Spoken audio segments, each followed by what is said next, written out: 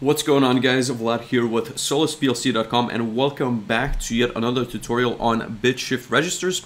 In this example, as you can see, the only thing that I've modified is essentially uh, changing this bit shift left, which you've seen in the previous video, to this bit shift right. And the reason why I've done the bit shift left first is essentially because the bit shift left is a bit more intuitive to understand because you have an integer which is essentially growing and you can see the bits uh, shifting all the way to the end of that integer. As you will see with the bit shift right, that's no longer the case, and it becomes a little bit more confusing just because uh, of the way things shift and you start having things appear in the middle of your integer. Let me show you exactly what I mean. So observe this B390 that we've used before, and um, so our length now is 5, so do pay attention to that number. As soon as I talk as soon as I toggle this bit, you will know you will notice that the first essentially the first binary number which started to change is the fifth bit of that integer.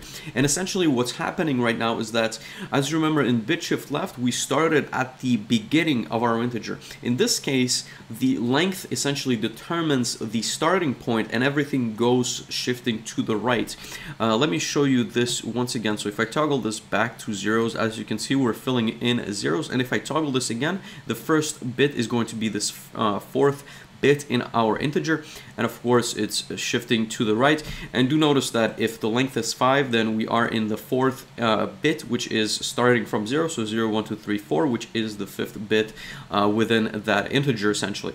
Um, the other thing that you need to notice is that if you change this length so for example if I set this to 10 all of a sudden we're starting to shift into these this bit number 9 or the 10th bit within that same uh, integer value and this can become, like I said, this is a little bit more confusing than the other one because it's essentially shifting from the point of your length and it can it can become even more confusing if the length starts to overlap multiple multiple integers.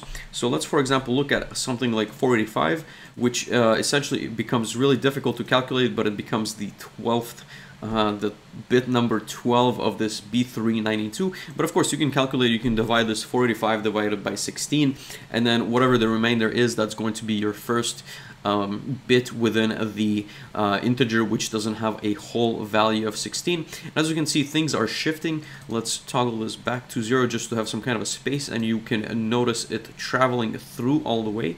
And let's retoggle that back on, uh, on a 1 and as you can see, we are now using this B390, 91, and 92. And this is going to go all the way down to uh, B390 bit number zero. However, like I said, it does start at this very unusual uh, spot, which is going to be this B392 slash 12 bit.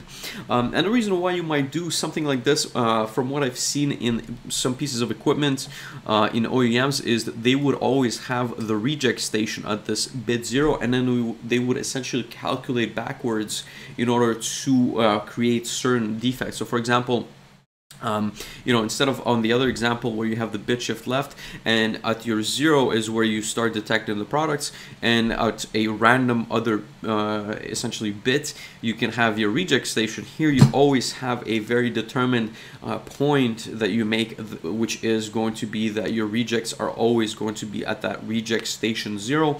And whatever you put in here is going to be, so for example, you could have these ones going into this shift register at all times, and then you could have a certain inspection station. So for example, you could create this B3919 uh, where you would uh, essentially lower that bit and that's where your reject station is going to be. And of course if it's a zero then it's a bad product. If it's a one it's a good product. And then you shift all the way back to this B390 in uh, which case you reject uh, you reject the bad product and you keep the good product going.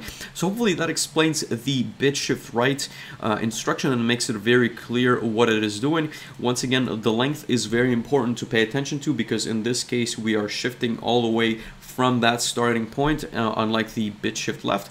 The file is going to dictate the final point or the final destination of our bits. Control register, same as bit shift left, that is something that you need to specify and there's a couple of bits that you can look at. So for now, uh, of course, the done and the enable bits are the critical ones. And the bit address is the bit which you are essentially uh, quote unquote shoving into the first address of your shift register and allowing it to shift all the way through.